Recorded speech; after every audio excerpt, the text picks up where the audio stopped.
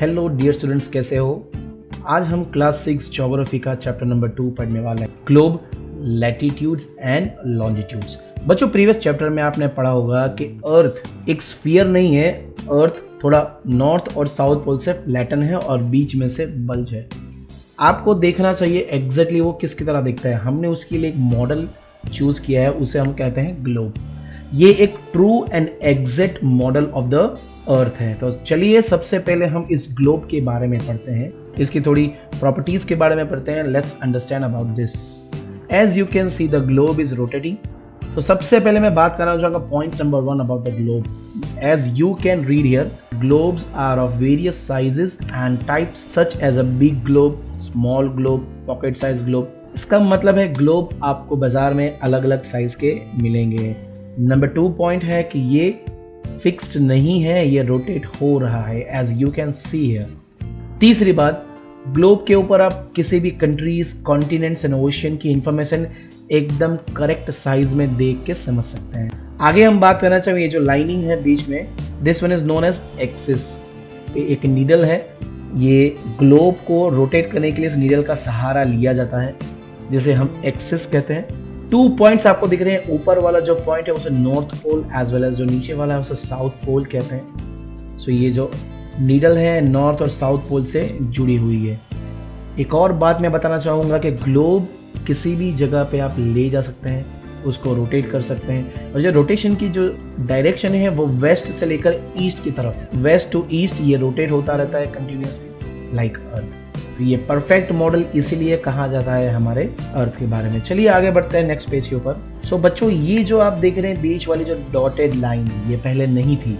ये एक imaginary line है जो अर्थ को दो हिस्सों में डिवाइड कर देता है। And this line is known as equator now let's see the next part as you can see the upper part this is called northern hemisphere क्योंकि अर्थ के दो टुकड़े हो चुके हैं अभी ये लाइन ड्रॉ करने के बाद एक अपर वाला एक बिलो वाला। अपर वाले को तो नाम दे दिया नदन हेमिस्फीयर। नीचे वाले को क्या कहेंगे? देख लेते हैं वो भी। इसको हम कहेंगे southern hemisphere. The southern half is known as southern hemisphere so ये जानना बहुत ही इंपॉर्टेंट है अबाउट दिस इक्वेटर क्या है? नदन एंड सदन हेमिस्फीयर क्या है? क्योंकि इसके ऊपर से हम लोकेशन ट्रैक कर सकते हैं। जैसे कि फॉर एग्ज़ाम्पल गुजरात कहाँ पर है? नदन हेमिस्फीयर में है कि सदन हेमिस्फीयर में है? ये आपके लिए क्वेश्चन है, ढूंढ के लाना आंसर फिर से मैं बताना चाहूँगा इस इक्वेटर के बारे में। इक्वेटर एक इमेजिनरी लाइन है। इसके अलावा बहुत सारी ऐसी लाइंस है। सेम टू सेम इक्वेटर के पैरेलल में आती है, जैसे आप ये देख सकते हैं, जिसे हम कहते हैं लेटीट्यूड्स ये सारी की सारी लाइंस एक दूसरे को पैरेलल हैं। मेन लाइन है इक्वेटर सबसे लंबी लेटीट्यूड इस लाइंस को याद रखना हम लेटीट्यूड्स कहते हैं, और लेटीट्यूड्स को हम मेजर करते हैं डिग्रीज में। आगे बताऊँगा मैं किस तरीके से मेजर करते हैं, चलिए। सो so, सबसे पहले आप देख सकते हैं ज़ीरो डिग्री पे है इक्वेटर इक्वेटर की जो लाइन है इमेजिनरी वो ज़ीरो डिग्री पे है एग्जैक्ट अभी ज़ीरो डिग्री से जरा सा ऊपर जाओगे यहाँ पर तो आपको मिलेगा 90 डिग्री नॉर्थ ऊपर की तरफ़ नॉर्थ है सो 90 डिग्री नॉर्थ पे जाओगे आपको नॉर्थ पोल मिलेगा. Same to same 90 degree south में आओगे तो आपको 90 डिग्री साउथ मिलेगा. That is called south pole so ये है मैंने जैसे आपको बोला लैटिट्यूड्स को डिग्री में मेजर करते हैं. तो ज़ीरो वाले जो लैटीट्यूड है, वो इक्वेटर है 90 वाले जो लैटिट्यूड है, वो 90 डिग्री नॉर्थ मतलब नॉर्थ पोल है। 90 डिग्री साउथ में है, जिसे हम कहते हैं south pole as you can see जितनी भी पैरेलल लैटिट्यूड्स है, जो नॉर्थ में है, जो आप देख सकते हैं, उसे हम कहते हैं नॉर्थ लैटिट्यूड्स जितनी भी नॉर्थ में उसे नॉर्थ लैटिट्यूड्स और जितनी भी साउथ में उसे हम कहेंगे साउथ लैटिट्यूड्स आप देख सकते हैं सारी के सारे लैटिट्यूड्स इक्वेटर को पैरेलल में। बनाई गई है। ये सब इमेजिनरी है। To locate a place so ये देखा हमने north latitudes and south latitudes let's see another one yes जैसे मैंने आपको आगे बताया, उसको डिग्रीज में नापा जाता है तो आप देखिए जो पहली वाली यहाँ पर है, वो 15 डिग्री नॉर्थ जैसे जैसे ऊपर जाओगे 30 डिग्री नॉर्थ ज़ीरो से लेकर ऊपर 45 degree north 60 degree north 75 degree north और ये है 90 डिग्री नॉर्थ सेम वे नीचे जाओगे अब 90 डिग्री साउथ की तरफ़। 15 डिग्री साउथ 30 डिग्री साउथ ये वाली जो लाइन है लेटीट्यूड है 45 डिग्री साउथ ये वाली 60 डिग्री साउथ और ये वाली 75 डिग्री साउथ तो मैंने जैसे आपको बताया था latitudes are measured in degrees आगे हम बात करेंगे इंपॉर्टेंट पैरल्स ऑफ़ लेटीट्यूड और कौन सी लेटीट्यूड्स बहुत ही इंपॉर्टेंट है? जो हमको याद रखनी चाहिए। सबसे पहली है, ये है ट्रॉपिक ऑफ़ कैंसर इक्वेटर से 23 डिग्री एंड हाफ़ नॉर्थ में अगर आप जाओगे, ऊपर की तरफ़ तो आपको ट्रॉपिक ऑफ़ कैंसर की लाइन दिखने लगेगी। इसको नाम दिया है ट्रॉपिक ऑफ़ कैंसर इसका रीज़न मैं आपको बताऊँगा क्यों यहाँ पर इसको इंपॉर्टेंट और हाईलाइट किया गया है। तब तक मैं आपको दिखाता हूँ number two tropic of capricorn 23 and half degree south में ज़ीरो से नीचे। इसके बाद मैं आपको बताना चाहूँगा थर्ड वन ऊपर वाला जो है आर्कटिक सर्कल और उसके बाद है नीचे एंटार्टिक सर्कल ये दोनों ऊपर और नीचे 66 एंड हाफ़ डिग्री में है। नीचे वालों को कहेंगे 66 एंड हाफ़ डिग्री साउथ मतलब वो एंटार्टिक सर्कल और arctic circle means 66 and half degree in the north so आगे मैं बताने वाला हूँ इसके बारे में और इम्पोर्टेंट चीज़ें तो चलिए, अभी मैं बताने वाला हूँ कि ये जो लाइन्स हमने ड्रॉ की है, इसका कारण है heat zones of the earth earth के ऊपर अलग अलग जगह पे मतलब कई जगह पे ज़्यादा हीट है, कई जगह पे कम हीट है, कई जगह पे हीट नाम की बात ही नहीं हो रही है। इसीलिए इसको डिवाइड कर दिया गया है बिटवीन दिस एरिया सो सबसे पहला जो जोन है, या जो रेड वाला जोन दिख रहा है आपको between tropic of cancer and tropic of capricorn ये ज़्यादा हीट ले रहा है बिकॉज़ सन की सीधी सन रेज इसके ऊपर गिर रही है। सन की लाइट सीधी इस एरिया में ज़्यादातर मिलती है। इसीलिए ये जो एरिया है पूरा पृथ्वी का मतलब अर्थ के ऊपर, ये साल भर तक ज़्यादा गर्म रहता है compare to the remaining areas इसीलिए इसका नाम है टोरिड जोन अब आपको समझ में आ रहा होगा कि ये लाइन्स क्यों ड्रॉ की गई है। ट्रॉपिक ऑफ़ कैप्रिकॉन की और इक्वेटर के बीच में जो एरिया है वो गर्म है। नेक्स्ट की तरफ़ चलते हैं नंबर टू नंबर टू है हमारा टेम्परेट जोन आप देख सकते हैं ग्रीन हो चुका है दो एरियाज़ में। These areas are between Arctic Circle and Tropic of Cancer in the northern hemisphere. In the southern hemisphere, Tropic of Capricorn and Arctic Circle के बीच में यहाँ पर ज़्यादा गर्मी नहीं है ना तो ज़्यादा ठंडी है मॉडरेट टेम्परेचर है राइट बच्चे दूसरी बात बताना चाहूँगा आपको मैं यहाँ पर हीट कम क्यों है वाई इसका रीजन है सन की स्लैंटिंग रेस सन की सीधी रेस गिर रही थी इक्वेटर की तरफ़ तो वो बहुत गर्म था सन तो वही का वही रह गया अर्थ घूमती रहती है। जब इस एरिया में सन की लाइट ही इतनी नहीं मिलती तो गर्म कहाँ से होगा? इसीलिए यहाँ का जो टेम्परेचर है, वो मॉडरेट है।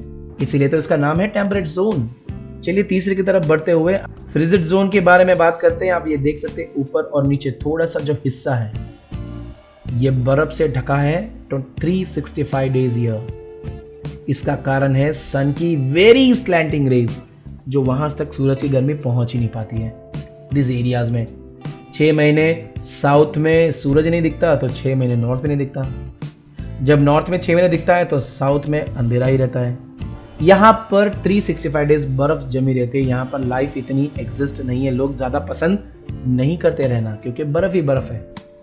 और कुछ नहीं है। रहने के लिए अच्छा एटमोसफियर यहाँ पर नहीं है। तो ये था हमारा थर्ड जोन फ्रिजिड जोन चलिए आगे बढ़ते हैं नेक्स्ट टॉपिक की तरफ़। अभी मैं बताने वाला हूँ एक और topic what are longitudes latitudes देख लिया। सारी स्लीपिंग लाइन के बारे में पढ़ लिया। अब हम बात करेंगे लॉन्जिट्यूड्स आप देख सकते हैं, एक ग्लोब के ऊपर हमने बहुत सारी स्टैंडिंग लाइन्स सीधी सीधी लाइन्स खींच रखी है।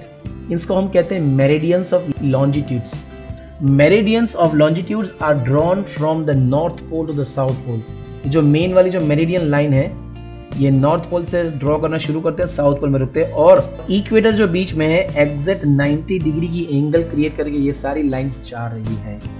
ये जितनी भी मेरेडियंस है आर कॉल लॉन्जिट्यूड्स इनके बिटवीन की जो स्पेस है, इसको हम डिग्रीज में मेजर करते हैं। जैसे आप ज़ीरो से टेन डिग्री फिर twenty degree thirty degree forty degree fifty degree तो इन सबको डिग्रीज में मेजर करके आगे बढ़ना आगे मैं बात करना चाहूँगी ईच डिग्री को हम फर्दर डिवाइड करते हैं इंटू मिनट्स एंड सेकेंड्स और ज़्यादा एक्यूरेट कैलकुलेशन के लिए, हम ज़ीरो टू टेन डिग्री के बीच में कितने टाइम में अर्थ ज़ीरो से टेन डिग्री घूम लेता है। इसको मेजर करते हैं आवर्स और मिनट्स में लेट्स सी जैसे आप देख सकते हैं, अब ये ग्लोब के ऊपर आपको ये रही प्राइम मेरिडियन दिख रही होगी which is very important meridian सबसे इंपॉर्टेंट मेरिडियन मतलब लॉन्जिट्यूड है प्राइम मेरिडियन यहाँ पर एक ऑब्जर्वेटरी है, उसका नाम है ग्रीन विच ऑब्जर्वेटरी लंदन में।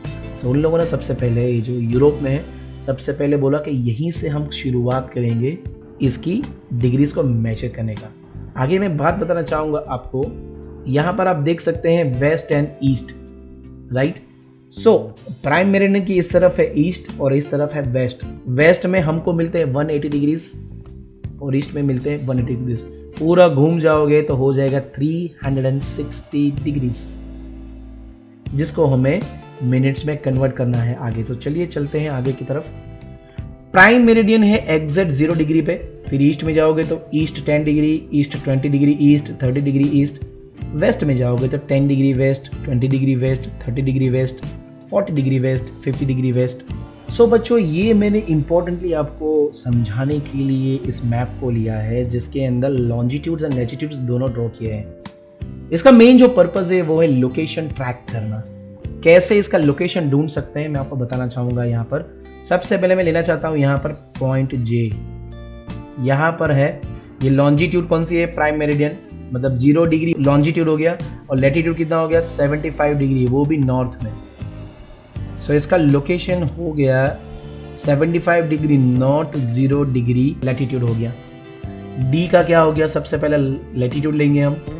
45 डिग्री लेटीट्यूड एंड लॉन्जिट्यूड हो गया 75 degree west and 45 degree north मतलब 45 एंड 75 वेस्ट सबसे पहले हम लेटीट्यूड बोलेंगे बाद में लॉन्जिट्यूड सिलेक्ट करेंगे.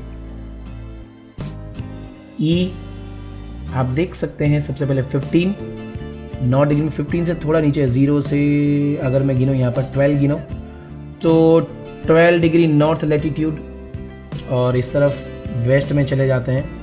इक्वेटर से वेस्ट में आते हैं कितना डिग्री आना पड़ता है? थर्टी से पहले है ये।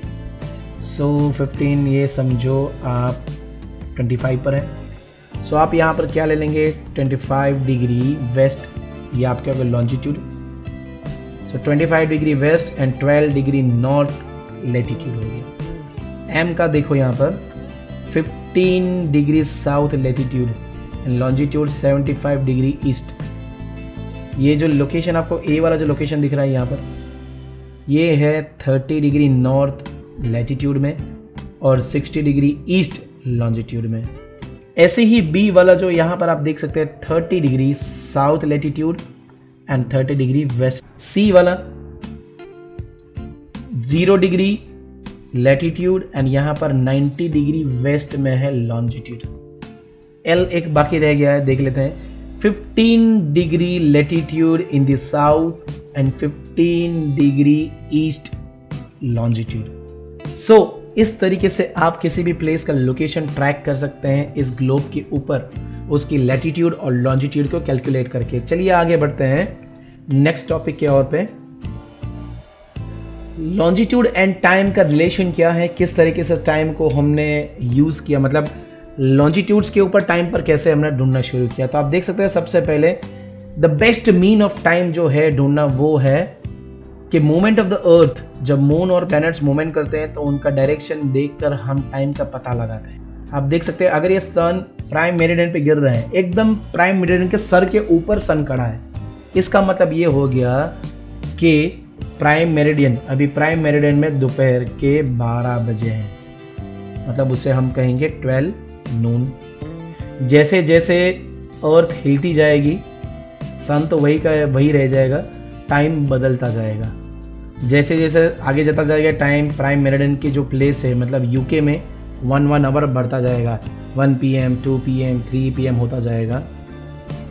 ट्वेंटी फोर आवर में पूरी अर्थ थ्री सिक्सटी डिग्री घूम जाती है।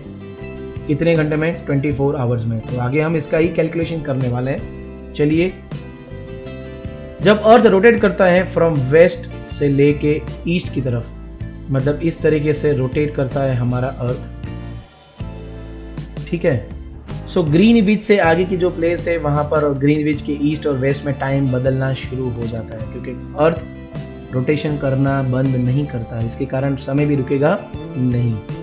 फिर से आपको मैं दिखा रहा हूँ, ये जो अर्थ है, वो मूव कर रहा है। जिसके ऊपर सन की लाइट कंटिन्यूसली गिर रही है। सो हम आप कैलकुलेट करने वाले हैं आपको बता दूँ मैं 360 डिग्री टोटल ये रोटेशन करता है जिसको 24 फोर आवर टाइम लगता है।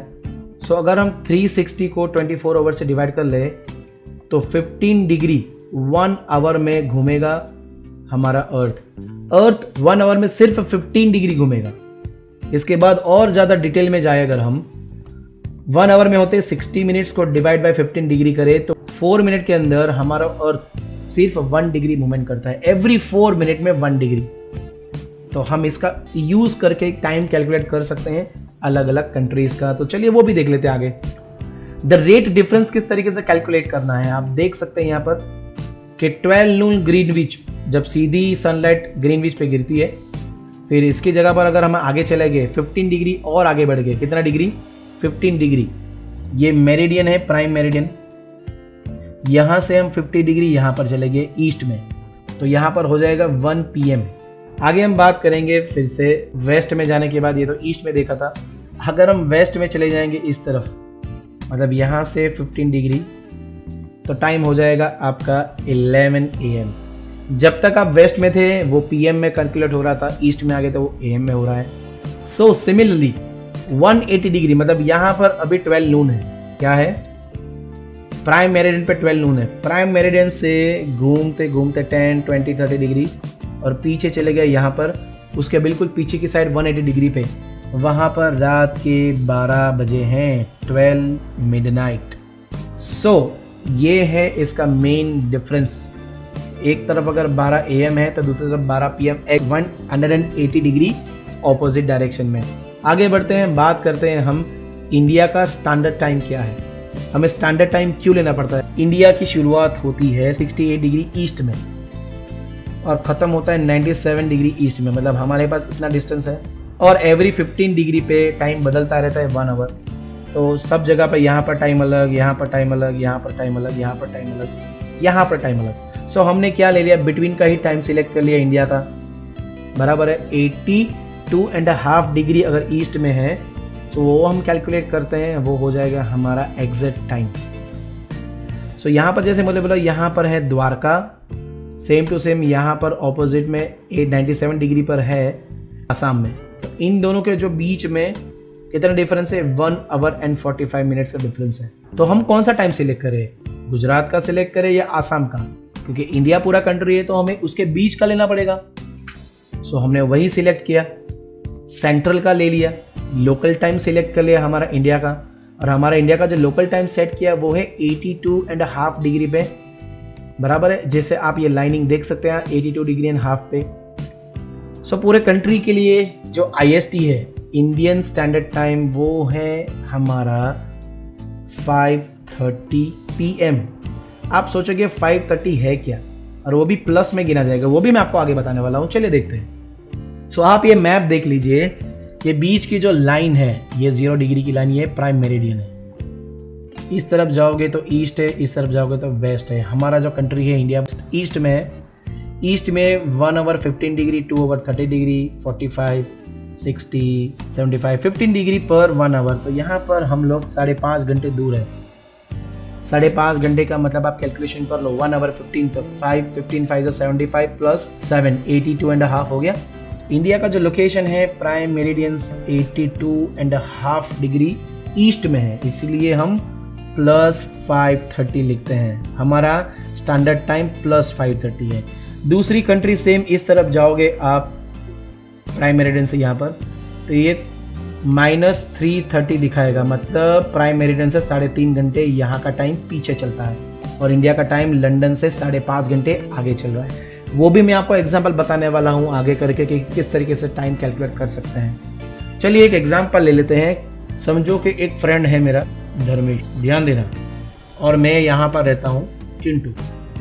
धर्मेश के दोपहर को 12 बजे वो मुझे कॉल करता है। तब वो मुझे पूछता है, तेरे कितने बजे? तो मैं उसको बोलता हूँ, मेरे यहाँ पे साढ़े पाँच बजे ऐसा क्यों?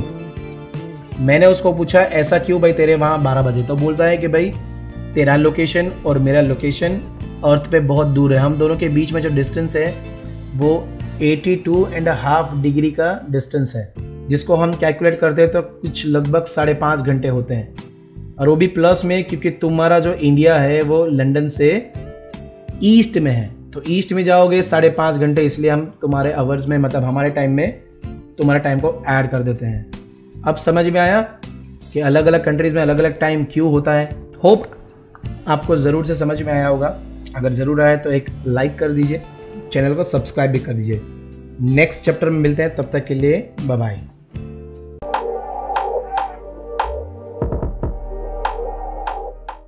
हमारे YouTube चैनल को सब्सक्राइब कीजिए, साथ में बेल आइकन प्रेस कीजिए और लाइक कमेंट और शेयर कीजिए।